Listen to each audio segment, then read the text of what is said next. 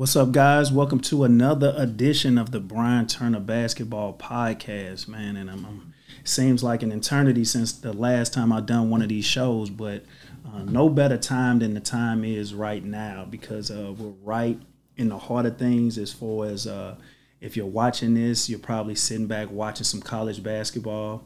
Um, you're probably getting ready for the uh, the state championship high school games that are coming up.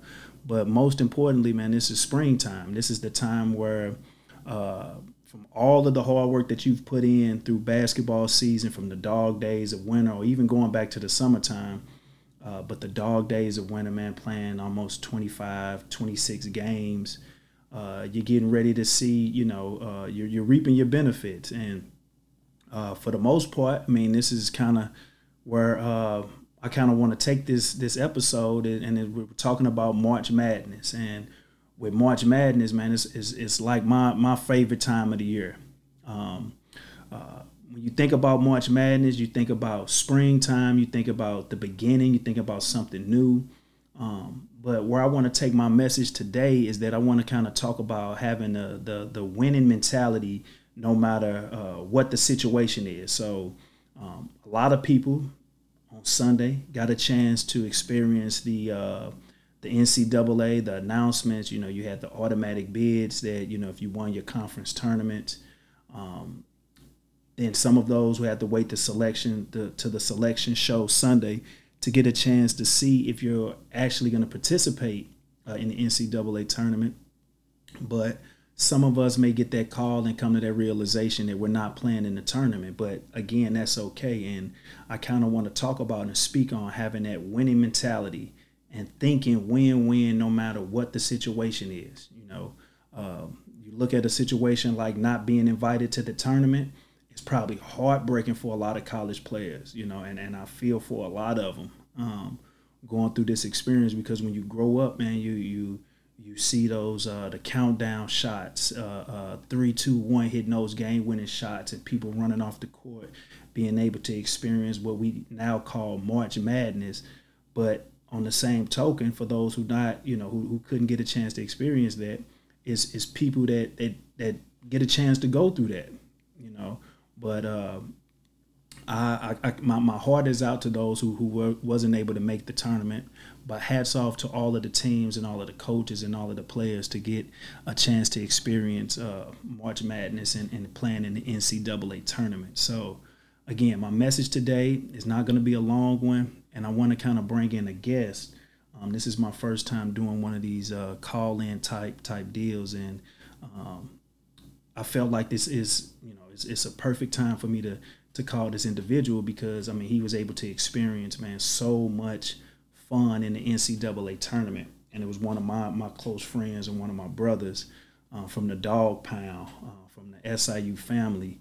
Um, I want to kind of bring him in, and I want to get his perspective and, and talk to him about you know March Madness and what you know what he feels like this time of the year, what it brings, and and also have that that winning mentality no matter what it takes and any information and any you know inspiration or encouragement he can kind of share with the with the viewers and the listeners um, that are going through this process man will be will be a great time. So let me just uh, see if i can bring my my guy in. Let's see if he oh. he'll pick up. Stat. Man can you hear me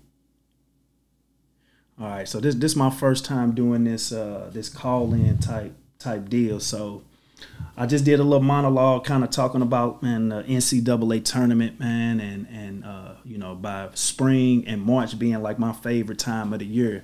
Um, because I, I kind of touched on the fact that man, us as, as athletes, man, you know, we start putting that work in in the summertime, and it's all year grind. And usually around March, you start reaping your benefits of all of the hard work that you kind of put in whether if it's on the coaching side, whether if it's on the player side, for people getting a chance to experience what they call March Madness. So uh, on the line, I have Stetson Hairston. He's class of 2020, no, no, 2004 or 2005. 2005 SIU Saluki man, dog, man, one of the all-time winningest players in the school history. Um, Belleville East native, man, one of the greatest players to come out of Belleville. Um, man, Stetson Hairston, man, he's he's my guest um, on the line right now. So I really appreciate, man, you taking the time to, to kind of chop it up with me to kind of talk about March Madness, the NCAA tournament. Um, but just real quick, just growing up, man, what what are some of your fondest memories of of March Madness, the NCAA tournament, and college sports in general? Oh man, uh, so many, so many great memories. Uh, those four years uh, playing college basketball, and uh, definitely those two years alongside with you as well. Uh, you, you, share a lot of those memories. But um, first and foremost, I would like to say just the, the time spent with my teammates. I mean, just the time spent with those guys, uh, going through the, the thick and thin, uh, the ups and downs throughout the season. Uh, mm-hmm. and then reaching that goal together. So I, I think those those memories are first and foremost. Mm-hmm. Um, but but just just all the memories. Uh, secondly, all the memories. Uh, just playing in the tournament in general. Mm-hmm. Um, it's a once in a lifetime chance. Um, you know, you have coaches that coach their whole lifetime and, and don't get that opportunity. So just even getting there once is, is a blessing. And uh, mm-hmm. just just being able to play on that field, on that stage, um, and being able to play for that national championship. Man, no, that's that's that's big. That's tough.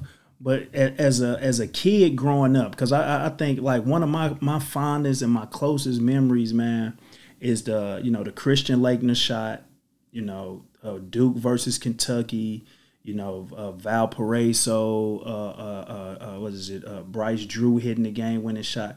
Do you have any memories as far as like it, whether if it's middle school or in high school that you just kind of looked at to just said, man, I can't wait to get to this point to be able to play in that, or was that ever like a goal or or even a thought growing up um, uh, about about the NCAA tournament? Um, I, the first I'll answer the question about the memory. I mean, you actually kind of touched on a few of those. I mean, the, the, the two big ones really for me was the the, the Christian Laettner shot, um, and then uh, that that the, the Valpo shot, the Bryce Drew shot. So um, you look at those shots, those kind of touch home looking at those and just kind of thinking like, man, you know, having an opportunity to play and be on that stage, um, you know, that you know that'd be that'd be great, and, and then that field would be awesome. So, mm-hmm. um, you know, with with that, you know, you know, th- those are my those two come out, you know, stick out uh, greatly. Right, right now, because uh, like you know, just you, it's just like with the NBA. You watch you watch some of those games, man, and it's just like right off right off the top when you finish watching the game, you want to go outside and you want to kind of emulate what you just saw. And I think a lot of us, man, when we was growing up just watching college basketball, the once we saw Christian Laettner, once we saw you know some of those huge games, because I mean, for those who was li- who listening, you know, once you start getting into like the elite eight, the final four, like them the only games that's on TV. And so we're looking at like a national audience that is like everybody around the country is watching one game, watching two games, you know, and to be able to see Laettner hit a shot like that right after uh, uh, uh, Jamal Mashburn and came down and hit some shots, man, that's like, you know, that's, I mean, I think they, they constantly play that over and over again every year uh, with like CBS, and then that that soundtrack I think is uh, uh, this this magic moment or winning moment from from Luther Vandross. I think it's like every time I hear that that soundtrack or hear something like man, I just I just get hyped and just thinking about that. So going into like your freshman year, because again I, I played junior college basketball. And I remember committing to play at SIU, and it was that year. It was my my sophomore year in college, and I see you guys, man, storm out of the gate going five and zero, oh. and I'm just like, man, they balling. What was your thought process going into that year, or just you know trying to play that out? Did you have any aspirations or any thought that you guys were gonna have that year uh, like like you had, or was it anything one moment that was just special and said, man, I think we got a good team. So kind of take me back to just like the the sum of your freshman year going into that season um, when you guys eventually ended up going to the Sweet Sixteen. Um, man, it was it was you know it was kind of weird though. It was weird because you know, I had just came back from that year of prep school, in Maine, and you know we had some successful success out there. had some success as a, as a player and as and as as a team. We won some games out there and did some good things. Um, and then coming in off, off of that season, coming in, you know, just didn't know what to expect. Didn't know if I'd play. You know, didn't know if I'd red shirt. You know, didn't know you know what was going to happen. But I I knew that I was going to work hard regardless of that. But and then, you know, I knew half the, the, the team there. I mean, they pretty much called us the St. Louis Salukis. You know, pretty much half the team or the whole team, um, you know, played for uh, at the time St. Louis Eagles, now the BBE. Um, so you know, all of us were familiar with each other, kind of knew each other a little bit. Uh, if we didn't know each other, we watched enough basketball and seen each other play enough, so we, you know, we kind of had a good feel of how each other played. Um, and then we seen the growth uh, from high school into that that next year uh, and what we did, uh, you know, as a player. So um, I, I seen that we were talented. I seen that we had a lot. Uh, you know, and you, and you speak on going uh, starting out the gate five and zero. Oh, you know, you're just taking it one game at a time. You just never know what happens. You know what's going to happen. So, um, you know, you know, take it one game at a time. Uh, we we we we that, that fifth game, the, the sixth game, I think it was, we played Illinois. They were second ranked team in the country. We played them in the championship game of Las Vegas Invitational. Um, you know, and it was a, it was a it was a big game. You know, those those uh, those preseason tournament uh, games that you play, or what what you may call them, or those invitationals that you may play before the conference starts. Those are important. You know, those those all matter for seeding later on in in the year. So you know, if you can make that run or if you can get in the tournament, at all matters for seeding. But, you know, we, we play Illinois in a championship game with this Las Vegas Invitational, and uh, uh, we end up losing that game by three, and we were up with up one with two minutes to go, and you know that was the year they had Frankie Williams and uh, Brian Cook and Archibald and Harrington and D uh, Brown. Uh, no, no, Dee Brown wasn't there yet. Okay, oh yeah, Luther okay. Head. It was Luther Head's freshman year. And Deron Williams. Deron Williams wasn't there yet. It was Luther Head's freshman year. The next year was when Dee Brown and uh, oh yeah, they had. Frank Williams from Peoria, Frank Peoria, Williams Peoria. Uh, Peoria Manual. He was a McDonald's right. All American. Yes, sir. Yes, sir. And at, at, the time, they were second in the country. Um, and, and, and you know we, we you know we hang tough with them. We had them beat. We end up losing at the end towards the last two minutes, well, last minute. So I'm gonna say we had them beat, but the last minute, um, and then after we lose that game, you, I kind of look around the room and I'm just kind of thinking at that at that time, it's like you know we're a pretty good team. You know we got a chance. We take it one game at a time. You know we competing with a team like this and, and had them on the verge, almost beat them. Um, then uh, we can probably beat anybody. So mm-hmm. um, you know you take it one game at a time and. Um, and you see what you do in conference. The conference is always tough. You know, you're playing everybody twice, and you know some good teams in the, in that league in the MVC. So um, you know, once once you get through the season, we had a little bit of luck to, to you know, at the end of the year in conference where, um, you know, uh, Drake had beat Creighton. Creighton had a Kyle Korver at that time, and Drake had beat them, gave us a tie, a share of the championship, and then we end up getting into the NCAA tournament on the at large bid, and, and there it goes. So. Mm. Man, nah, you say there it go, and that and that kind of kicked off everything. And and shout out to to Coach Weber. You know, he just finished up and resigned at K State. Man, good man. And uh, we had just had the opportunity to play for him. And I, one thing I like to tell people, uh, just based on like my years of being around it, man, as far as the preparation part, and I, I take a lot of that, um, a lot of pride in that when I um, when I coach my team. You know, uh, Coach Weber was the type of person. I mean, he's not gonna woo you with you know him getting out doing drills and, and doing all type of stuff with you.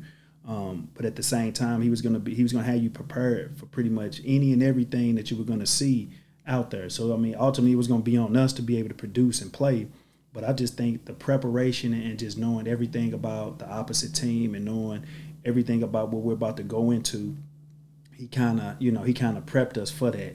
Um, anything that kind of stood out with, with Coach Weber as far as uh, your time being there with him, even as far as the, the whole recruiting process, what are some of the things that, that kind of stood out with with playing for Coach Weber? Oh man, uh, Bruce is great. Uh, I mean, we was fortunate enough to have a great staff. Uh, I mean, he had some great guys uh, under him, but but great. Uh, uh, but but Bruce was great, man. Bruce was was was straightforward, and you talk about that preparation piece, man. I mean, we were you know we were always prepared for whoever we played, and, and we put that time in on the court to get prepared for what they were running. So we knew what was coming, and then the details of of, of, um, of uh, all the players, um, their tendencies, um, um, everything you know, every everything down down to a T. Uh, you know, Coach Weber did a great job at that and making sure he didn't leave anything out. That we were well prepared for whatever game that we played. Um, so you know that was one of the things that again, like like you said, BT, um, uh, Coach Turner. I mean that was, I mean that was one of the things. You know we we knew we knew what they were going to do. We knew what to expect. Um, and if we got beat on something, it was something that was in the scouting report that we should have known about. You know, mm-hmm. so um, def- definitely um, um, um, very good at preparation. I also thought that you know he was very good at, at, at you know mixing the, the basketball and the and the, the off the court life lessons together mm-hmm. to, to, teach you and to help you uh, grow as a young man um, and as a player. So I also appreciate those things because there were a lot of times where he took you took you to the side or you were in his office and kind of talked to you some, about some things that, that, that didn't have to do with basketball that definitely connected though if that makes sense so oh no man um, it, it, it make perfect sense because uh I'm just I'm just like right when you was just talking just about the preparation. I think I asked you a couple times as far as like you know um, watching the game of basketball today, and then even we're trying to implement some some things on the defensive end with us. And I used to say, man, step man, like like some of the stuff that we were doing defensively, man, was just kind of like unheard of, and you know as far as like you know the the different like things that we knew we were going to take away from other people, but then like different schemes. And you was just like, man, you got to think, B, man, like we had everybody on our team had a high basketball IQ. So you could put things in and talk about certain things. And then, like you said, it was just up to, for us to just pick up on it. And if we got beat, it was something that was already in the scouting report that we kind of already knew. But, uh, but that was just one thing that I just felt like, man, we were just so advanced defensively when we played. But, um, but again, yeah, you talked about man that that that great staff, and I kind of want to kind of transition into that. So I'm looking at you know the the field and the NCAA tournament. I talked to you just a little bit. You said you didn't fill out a bracket, but you watched a couple games, and I'm just looking at just the field of different teams. We got a lot of different teams from Texas. Uh, you know, some of the mainstays are always there. You know, with the with the Gonzagas, the Dukes, the North Carolinas um, the Michigan States, all, all of those are kind of in the mix. Um, but even making that transition um, for a, to a Final Four team, and I think uh, one of the teams that have one of the best chances is Purdue. And Purdue is uh, uh, head coach is, is Coach Matt Painter, and we both had the pleasure of playing for Coach Painter at SIU. Um, let's kind of talk about that transition from your freshman year playing for Bruce Weber to that second year playing for for Coach Painter, um, or no, it was the, your third year playing for Coach Painter, and just kind of the similarities and the differences in in the coaching styles, or even the, just the teams um, from from both head coaches.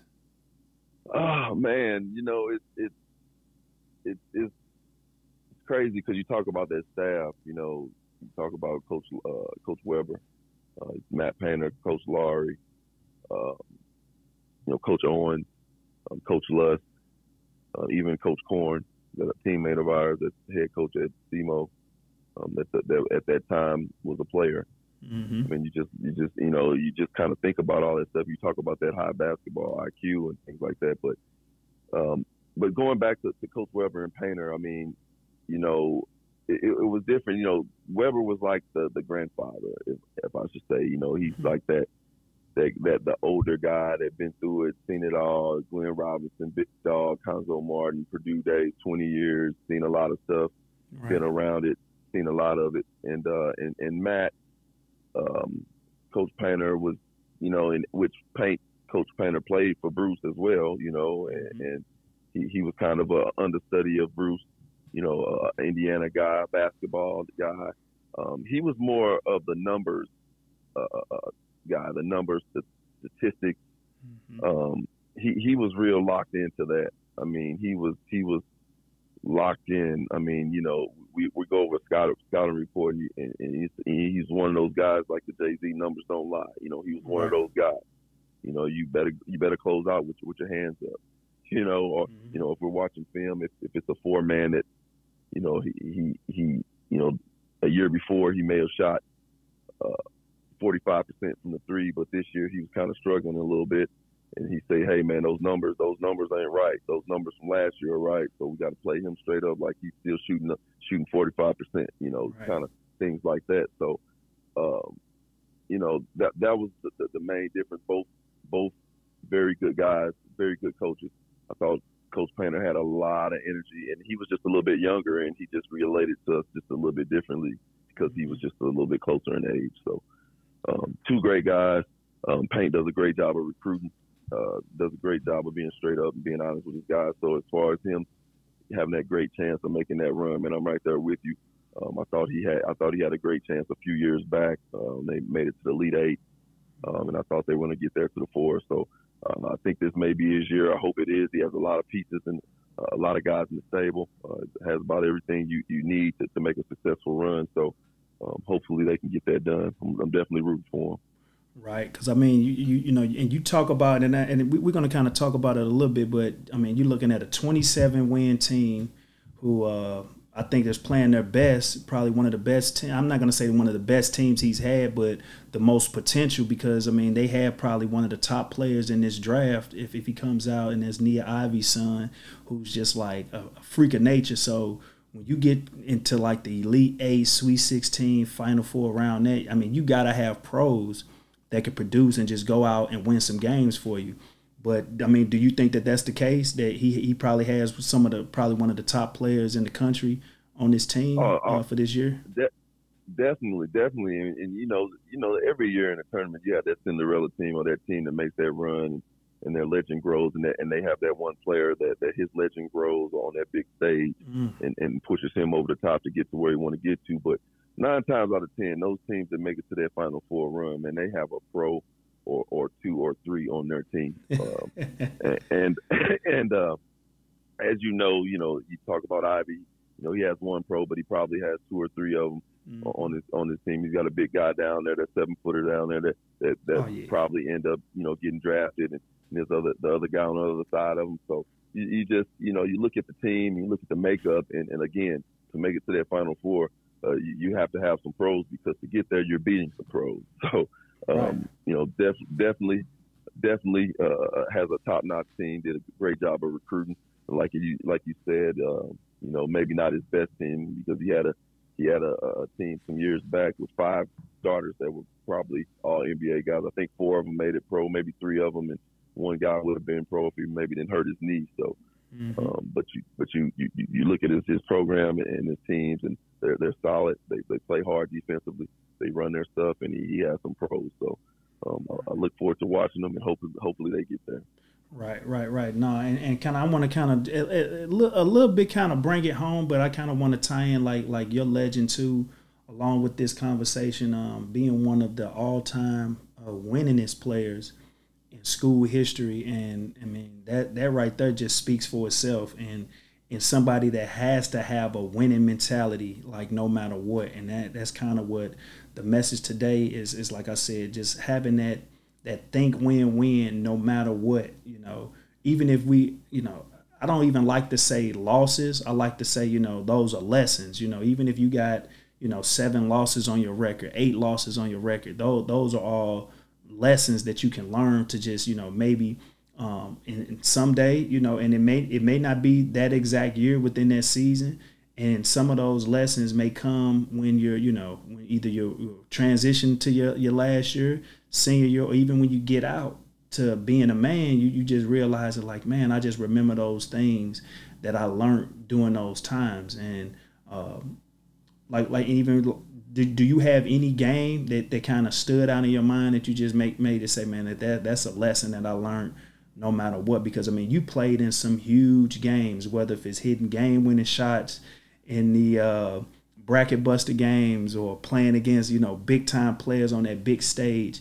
Man, anything that, that you can just add to the conversation that can kind of help either a parent, a coach, a player move forward as far as thinking, uh, having a winning mentality. Uh, what what are some of the things that you can kind of express uh, from that framework? Oh man, uh, talk about winning. I mean, you know, I I look at my look at the high school program I came from. You know, uh, back at Belleville East, and my freshman year, we were sixth in the state, and you know we had some talent there, and we won a bunch of games. My sophomore year, we, we won 25 games, but but Edwardsville was pretty good. Had a couple seven footers, a couple all stater guys, but you know, following two years, junior senior year, didn't win as many games as I as I'd like to win. Didn't win 20 games, but did win uh, in the high teens. Um, but um, I, I think that's that. You know, you, you you work you work every day, and it's a mindset. You know, the work you put in, what you put into it, is what you're going to get out of it. I believe, um, and then you putting in that work. I think the basketball guys are going to bless you. Mm-hmm. Uh, and when and when you put you put in that work and you put in that time, um, and then you have a, a group of guys because you know once you get into coaching, you know, and you look, you get into coaching, you coach for some years, and then you look back at the things that you accomplished as a player uh, at the at that level. Uh, I'm, I'm, talking myself particularly as, as winning four championships and you know winning 103 games in four years or, or whatever it may be, and you know the, the, the, whatever accolades it may be, three pointers, assists, points, you know whatever it may be. Mm-hmm. Um, you know, you look you look look back at those things and you realize how special a group of guys that you had, or, or, or the guys that you were with. You know, they they were all they all had the same mindset. They all did the want to do the right thing. They all worked hard, um, which allowed the basketball guys to bless us in a, in a lot of ways. So I, I look at that I, I, again. I'll go back to that that winning mindset. Um, that once you have have a taste and you get a piece of it, um, that, that, that, that when you put your all into something and you work really, really hard and, and towards a goal and, uh, and, and you, you uh, achieve that goal and you, and, and it, it feels great. And once you get that piece, then you don't, you don't want to, you, you don't want to settle for anything less than that. Mm. You um, are, I yeah, think, I like I think, that. And I, and I think that you, you, you strive, uh, moving forward, you strive to get that same feeling that you had before. Mm. Um, and when you do that, um, you know, and, and, and the basketball guys, bless you, man. I, I look at that. I think about that. Uh, we talked earlier about that Sweet 16 year. Um, you know, for us to even, you know, we won that, win the conference. We didn't win the conference tournament, but we tied because, you know, somebody else went beat, beats Creighton. You know, you just look at all those things. Uh, um, you know, you, you, look at some of those games on the year you, you touched on, you know, game winning shots, tip ins, or, or, shots at the buzzer or uh, even a game. I look at a game on the road in, in the conference play when you're down seven points uh, with one minute to go, but then you find some way come back and win that game on the road in regulation. Mm. Um, you know, moments like that, games like that, uh, uh, things like that, the, the teachings from your coaches. Um, you know, when you win a game like that, when you're down six or one minute to go, you just you look back at everything that your coach told you and everything that he needed you to execute. And did you go out there and execute it? And if you did, did it help you win that game? And when, once you see that it does, then it, it, it, it's just it's that mindset, man. You get a piece of it. You don't want anything less than that. Right. Um, and and you know, to, to to those guys, to those kids, that's, those those those athletes that's, that's striving for that, man. Just you know, at times you have to take a look look in the mirror and, and ask yourself, are you giving everything? You know, are you putting everything out there? Um, because when you do do that, man, it's contagious. Man, it's oh, contagious, man. Because man, I was just gonna say that as far as the having an abundance mindset to where it's like it's like an all you can eat buffet. Like if if you have that mindset of of uh, I'm gonna do whatever it takes to get it done to win and have this winning mentality, it's contagious. And then not everybody can eat and everybody can have success of you just having that mentality and you're not looking at it as like I'm pointing my finger at this person, he's the reason, or he's not the reason, but it's just like having that that that uh, abundance mindset to where you know if even if I do it and I work hard, then somebody else is gonna feed off this energy and my energy, and they're gonna you know bring the same type of effort. Do you think that's kind of what what you're kind of speaking of? Oh, definitely, definitely what I'm speaking of, man. I mean, because you know, you know, but college basketball, you know, high school, you know, you, you, it's what that's what you have, you know. But you know, college basketball, you know, you really you start winning some games, you have to recruit and you recruit kids, and kids want to go to winning programs, and you know they want to go to winning programs, but do they want to do what it takes to, to sustain that, keep that, to, to keep that tradition, to keep winning games, to to keep to keep uh, uh, the program alive, and you know once you get there, you know, do you want to do that? And and if when you see everybody else bought in and doing all the stuff, the dirty work, the toughness, working hard, stand after getting extra shots up, watching the watching the film, asking questions, talking to coaches. when you see everybody else doing that, man, it, it, it's contagious. You just have to fall in line, you know. Mm-hmm. And, and to be honest, quite quite honest, you know, when I look back at that, you know, because we had a, you know, at that time we had a bunch of guys, you know, that that that, that end up leaving and transferring. You know, it's kind of, you know, if they couldn't do it, you know, we kind of looking at them like, man, you know, hey, this this this is what we do to win. You know, hey, th- th- this is what it takes. Mm-hmm. So you know, if, if that's not what what you can do, then hey, this train gonna keep moving. Man, nah, that's that's real, man. So again, man, I appreciate your time, man. You know, like I said, if nothing else, man, if, if we can kind of um, get someone that listen and kind of, you know, if they if they like this message, if they like what we're talking about, man, that they would uh um, just kind of take heed to a lot of this different stuff that we we kind of share, but just having that win-win mentality, man, that uh, that abundance mindset that everybody can eat if you just come and you do your part and you work hard and uh, people can just respect it. So um, again, man, I appreciate you for your time. This was going to be uh, a nice, sweet little quick message, but I just wanted to kind of drive that home. You know, we're in the height of the NCAA tournament. Um, like I said, a lot of folks didn't get a chance to, uh, to to make it to the tournament. Some folks got a chance to get in, but regardless, if you're playing like you know playing in the NIT, NCAA, man, just be grateful that you're able to play basketball in this climate um, during this time, during the time of your life where you're supposed to be getting it done in, in your, uh, you know, early, late teens, early 20s, and experience college basketball, man, at its finest. So, uh, Stetson Hairston, uh, uh, Saluki, great Saluki legend, man. I appreciate your time, man, that you spent with me on here, and uh, man, I holler back at you. man, Bryan, I, I appreciate it. Um, thank you for having me, man. I really, really do, really do appreciate it, man. It was great to talk about Coach Weber, considering everything.